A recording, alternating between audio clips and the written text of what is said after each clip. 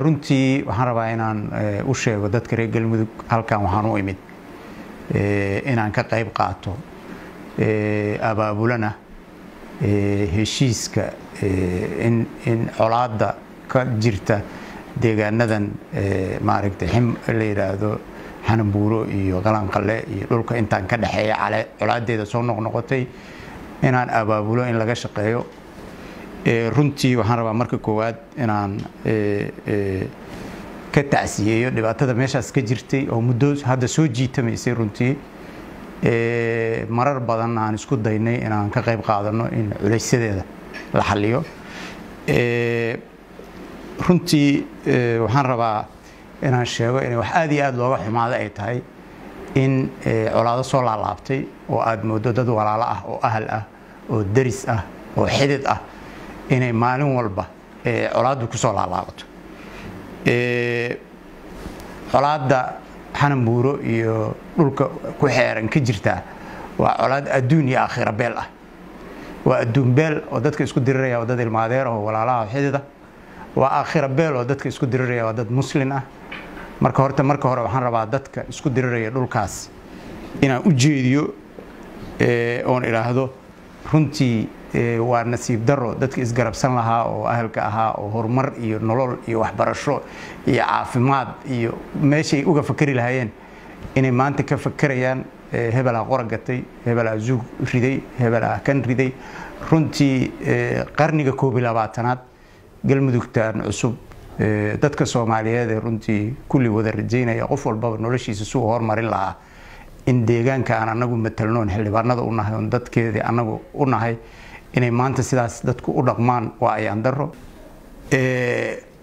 waa aad iyo aad bay ayaan daro u tahay runtii in deegaankaas anagu aan matalno oon xildhibaanadiisii iyo nahay dadkii u matalayay in dhibaatadaas ay ka jirto. Waxaan rabaa si gooniya inaan ula hadlo dadka deegaanka. Waa dad ilma adeerah waxaan rabaa inaan si gooniya u sheego idhaahdo beelaha walaalaha oo cayr iyo saleebaan oo meesha ku diriraya oo aan u gar dhigtoon idhaahdo dad badan oo soomaaliyeed oo ilma adeeraha degan dhulyooga soomaaliyeed. Oo ilaa puntland leh ilaa somalilan leh ilaa kelinka leh mana maqalna iyagoo isdilaya mar walba deegaankan habar gidurtu deganta oo ilma adeerta ah dadku waxay isku dilaan oo weliba nod keliya inay isdilaan aad moodayso inay hub culus isu soo qaataan. Runtii waa arrin ayaan daro ah waa arrin annaga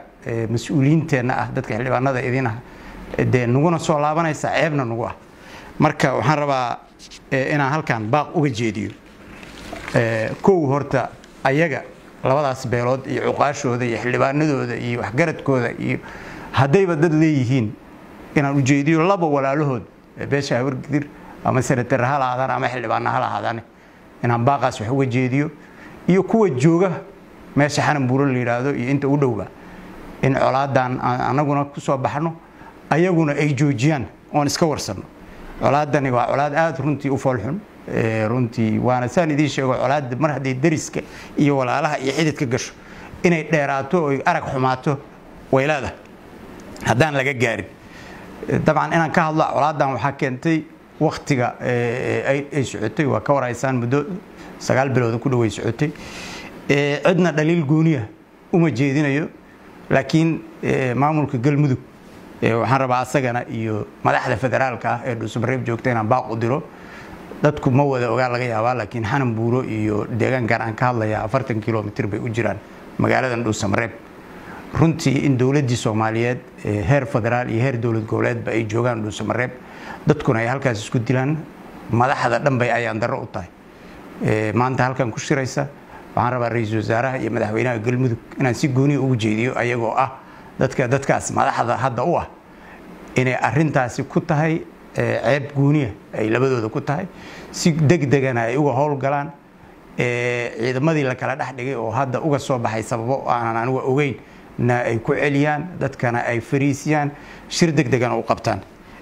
Aniga cabdiraxmaan odowa ahaan waxaan diyaar u ahay wax allaale wixii dadaala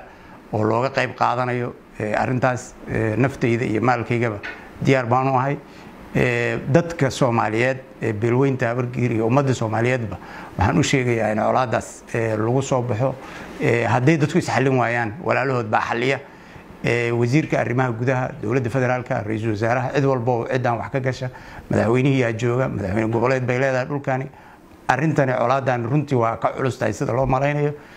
in si deg dega loo joojiyaan codsanaynaa inaan ka shaqaynana waa codsanaynaa. Aad iyo aad baa umahadsantii